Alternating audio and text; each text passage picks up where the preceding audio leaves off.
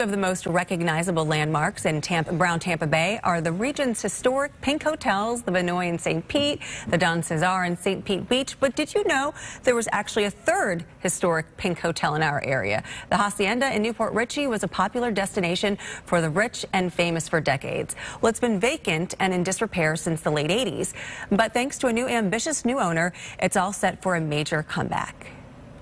When you look at a picture of an exterior or interior of a, of a hotel taken almost 100 years ago, and then you're standing in that location and you're looking at it again, and there it still it still stands. Preserving that is is important. We are currently at the Hacienda, located in the heart of downtown New Port Richey.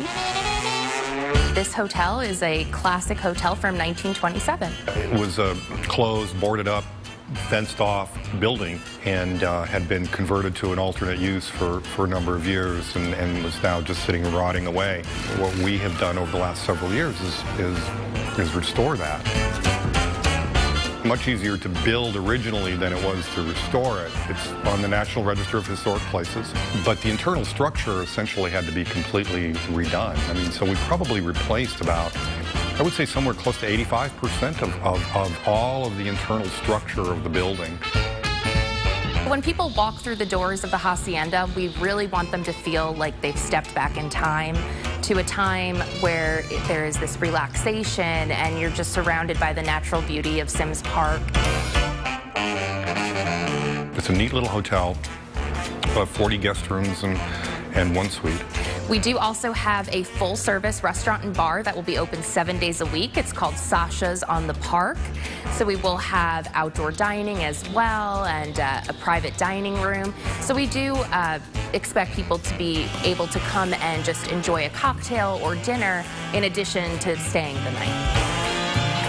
We certainly attempted and did manage to save some of the features that are much more architecturally interesting um, and significant.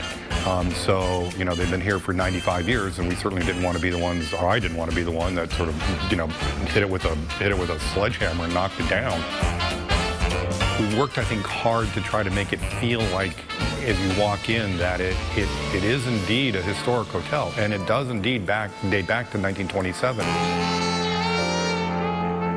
A lot of people don't realize this, but at the time there was a there was quite a, a, a, cache of celebrities that were calling, beginning to call New Port Richey their home. A few started, and then they told their friends, and before you know it, more and more people were coming to this area.